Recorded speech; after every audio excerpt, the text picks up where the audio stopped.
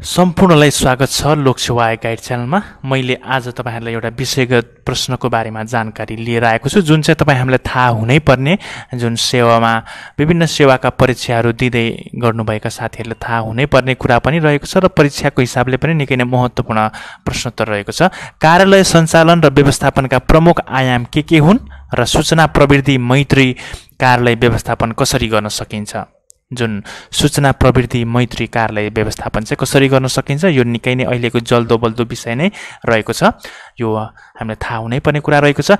कार्यालयको लक्ष्य एवं उद्देश्य प्राप्तिका लागि होइन? कुनै पनि कार्यालय भन्ने बित्तिकै कार्यालयको डेफिनेसनै कुनै पनि एउटा लक्ष्य प्राप्त गर्नको निम्ति एउटा स्थापना भएको कुनै उद्देश्य प्राप्तिका लागि स्थापना भएको ठाउँ नै हो। कार्यालयको लक्ष्य एवं उद्देश्य प्राप्तिका लागि गरिने सबै कार्य चाहिँ कार्यालय सञ्चालन र व्यवस्थापन हुन्। र यसमा कार्यालयको योजना तर्जुमा गर्नेदेखि लिएर योजना कार्यान्वयन गर्ने कर्मचारी तथा बजेटको व्यवस्था गर्ने समन्वय गर्ने निर्देशन गर्ने अनुगमन गर्ने मूल्याङ्कन गर्ने लगायतका कार्यहरू चाहिँ पर्दछन्। यी कार्यलाई व्यवस्थित गर्न केही विभिन्न पक्षको आवश्यकता पर्दछ जसलाई कार्यालय सञ्चालन र व्यवस्थापनका प्रमुख आयामका रूपमा पनि लिन सकिन्छ जुन निम्न छन् भनेर तल दिएको छ। जस्तो मितव्ययिता। जुन कम लागत तथा तोकिएको समयमा गुणस्तरीय कार्य सम्पादन गर्ने गरी व्यवस्थापनले चाहिँ कार्य गर्नुपर्दछ जसलाई चाहिँ मितव्ययिता भनिन्छ। अर्को रहेको छ कार्य दक्षता जस्तो उपलब्ध साधन स्रोतको चाहिँ अधिकतम परिचालन गरेर लक्ष्य हासिल गर्नुपर्दछ। होइन जति पनि स्रोत साधनहरू उपलब्ध छन् त्यसको चाहिँ अधिकतम परिचालन गरेर चाहिँ लक्ष्य हासिल गर्नुपर्दछ। कार्य दक्षता रहेको छ र अर्को प्रभावकारिता। लक्ष्य अनुसारको प्रगति हासिल गरेर आफ्नो प्रभावकारिता चाहिँ अभिवृद्धि गर्नुपर्दछ। र अर्को रहेको छ पारदर्शिता। व्यवस्थापनले आफूले गरेका कार्यहरू तथा निर्णयहरू सरकारवालालाई चाहिँ जानकारी गराउनु पर्दछ। त्यो त्यो चाहिँ के हुनुपर्दछ? पारदर्शिता हुनुपर्दछ। र अर्को हुनुपर्दछ जवाफदेहिता जुन व्यवस्थापनले आफूले गरेका प्रत्येक कार्यहरूको चाहिँ सम्बन्धमा उठेका सवालहरूको चाहिँ उत्तर दिन सक्नुपर्दछ त्यो चाहिँ जवाफदेहिता हो। र अर्को चाहिँ सदाचार एवं नैतिकता।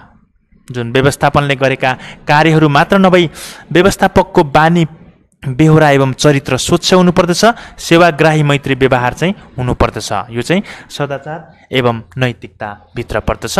र सूचना प्रविधि मैत्री मैत्री कार्यालय व्यवस्थापन कसरी गर्न सकिन्छ त भनेर यहाँ केही बुदाहरू लेखिएको छ। कार्यालयमा इन्टरनेट कम्प्युटर प्रिन्टर लगायतका विद्युतीय उपकरणको प्रयोग गरेर कार्यालयले गर्ने सम्पूर्ण कार्यलाई यही माध्यमबाट गरी कार्यालयलाई पूर्ण रूपमा पेपरलेस अफिस बनाउनु चाहिँ सूचना प्रवृत्ति मैत्री कार्यालय व्यवस्थापन हो। है तपाईँहरूले कार्यालयमा इन्टरनेट कम्प्युटर प्रिन्टर लगायतका विभिन्न विद्युतीय उपकरणहरूको प्रयोग गरेर जुन पेपरलेस काम गर्नुभयो भने तपाईँहरूले त्यो अफिस बनाउनु नै एउटा सूचना प्रवृत्ति मैत्री चाहिँ कार्यालय व्यवस्थापन हो। सूचना प्रवृत्तिको उपयोगिताको क्षेत्र बहुआयामिक हुने हुनाले कार्यालयको कार्यप्रति एवं कार्यक्षेत्रको आधारमा चाहिँ यसलाई प्रयोग गर्न सकिन्छ। यसले चाहिँ जस्तो मानिस मालवस्तु जग्गा भवन सवारी साधन लगायतका सबैको सूचनालाई चाहिँ इनपुट प्रोसेस र आउटपुट जुन इनपुट प्रोसेस र आउटपुटको कार्य गरी चाहिँ व्यवस्थित गर्ने गर्दछ। त्यसैले यसलाई चाहिँ यस्तै गरी प्रयोग गरेर कार्यालयलाई सूचना प्रविधि मैत्री कार्यालयको रूपमा चाहिँ व्यवस्थापन गर्न सकिन्छ।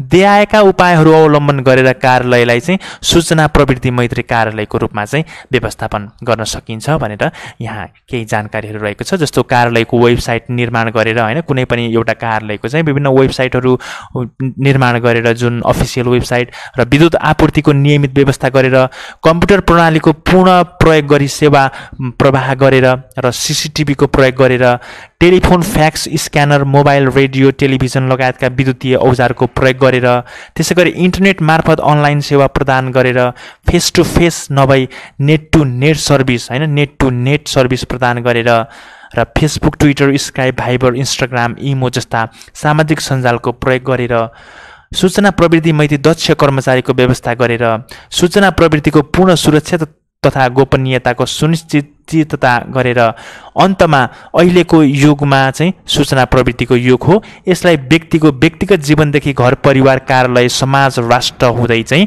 विश्वमा प्रयोग गर्न सकिने भएकोले आज सूचनाको सञ्जाल यसरी विस्तार र विकास भएको पाइन्छ।